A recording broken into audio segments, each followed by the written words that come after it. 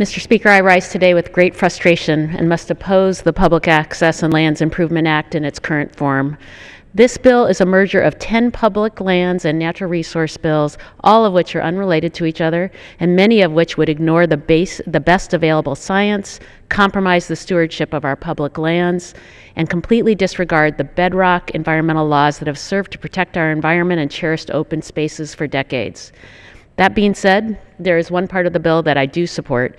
Buried in Title VI of this bill is the Green Mountain Lookout Heritage Protection Act, which I introduced with Congressman Larsen and Senators Murray and Cantwell.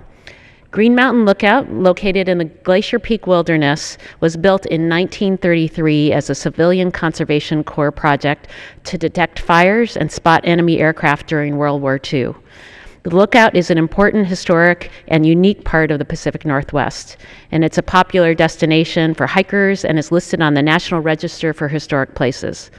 Unfortunately, severe weather caused the Green Mountain Lookout to fall into disrepair in 2001, and the U.S. Forest Service began taking steps to preserve the historic structure for future generations.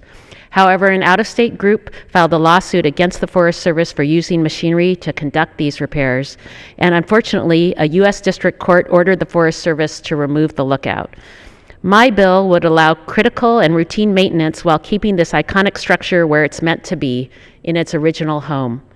Local governments in the area, my constituents, as well as a number of environmental and historic preservation groups, support my bill to keep the Green Mountain Lookout where it is. And the Natural Resources Committee agrees. They passed this bill unanimously last year, and why wouldn't they? This bill is common sense. It saves us money because it would actually cost more to remove the lookout than to keep it where it is. There's absolutely no doubt in my mind that if this bill had been brought up on its own, by its own merits, it would have passed with overwhelming bipartisan support. Unfortunately, that's not what's happening here today. Instead, this bill's gotten wrapped up with a series of very controversial and divisive bills. The Green Mountain Lookout represents a significant piece of the Pacific Northwest history, and it deserves to be protected for outdoor enthusiasts to enjoy for years to come. It does not deserve to be wrapped up in a package of bills that we all know will be dead on arrival in the Senate. The administration has also voiced its support for the Green Mountain Lookout, keeping it where it is, while strongly opposing the rest of this bill. Green Mountain deserves a vote on its own, and I'm extremely disappointed that my amendment to separate my bill from the rest of this package was denied a chance to be considered today. The way this piece of legislation was handled is emblematic of the dysfunction that's so prevalent and so unnecessary in Congress today. The people of Washington state expect Congress to make progress and they expect compromise, not partisan exercises that won't make it to the president's desk or achieve a meaningful result.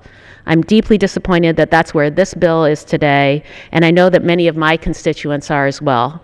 It's my hope that I'll be able to work with my colleagues from across the aisle to consider the Green Mountain Lookout Heritage Protection Act before it's too late. The need for immediate action is great because if the lookout is moved once, there's no moving it back. It's simple. Taking care of our environment is critical to protecting the quality of life that we cherish. I cannot, in good conscience, support this overall bill due to the many other harmful measures that are included in this package. I yield back. Gentleman yields back. The gentleman from Arizona reserves. The gentleman from Washington is recognized. Thank you, uh, Mr. Chair. Mr. Chairman, I'm pleased to yield four minutes to the gentleman from Idaho, Mr. Labrador, who is an author of one of the titles of the bill. The gentleman from Idaho is recognized for four minutes.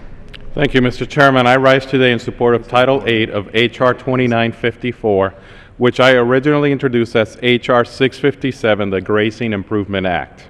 I thank Ch Chairman Hastings for recognizing the importance of this issue and including it in H.R. 2954.